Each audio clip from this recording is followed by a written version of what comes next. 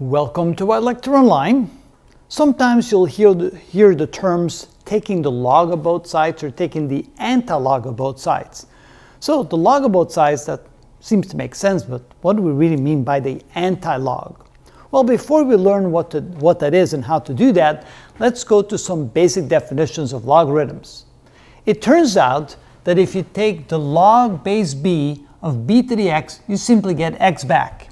And if you have the base b and you raise it to the exponent log b of x, you also simply get x back.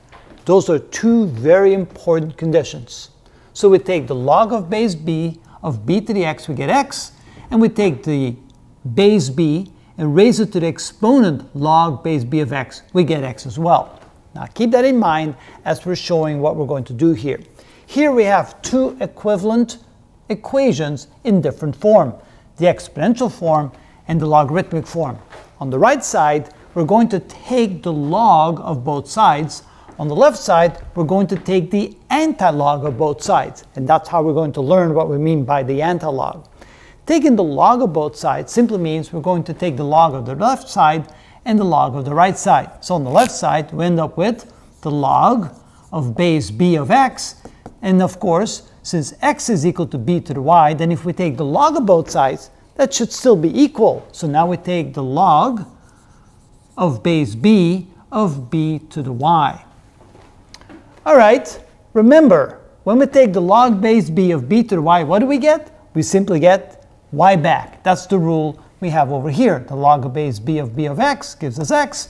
The log of base b of b to the y power simply gives us y. So this becomes the log of the base b of x equals y, or y equals the log base b of x.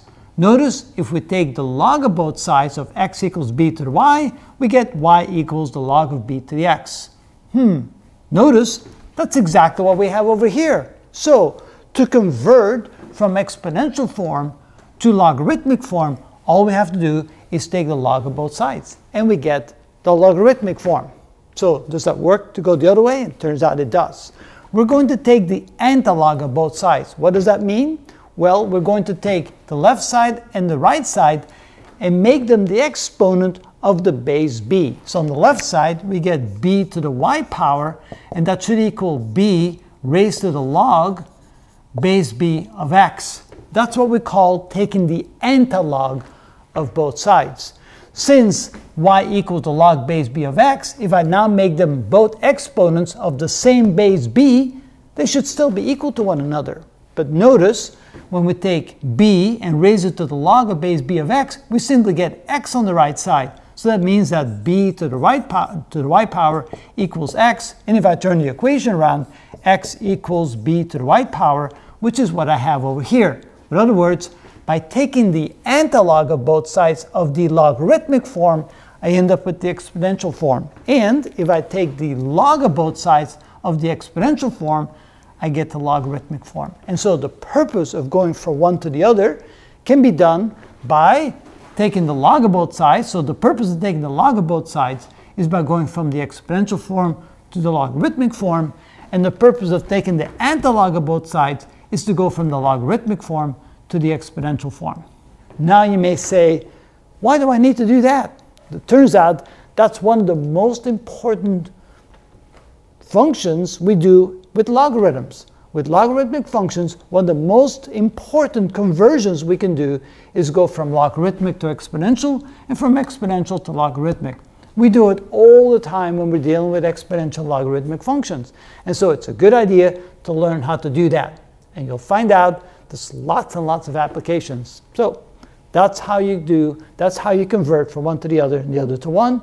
If you don't remember the shortcut method, you can always fall back on this method. This will always work.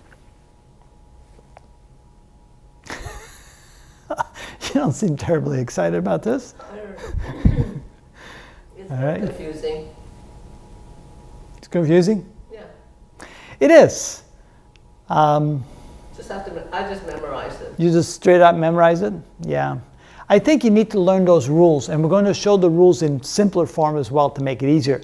It's a little bit confusing because we generalize it using base B, but typically we'll use base 10 or base E, and we'll show how to do that later. It makes it a little bit less confusing, I think.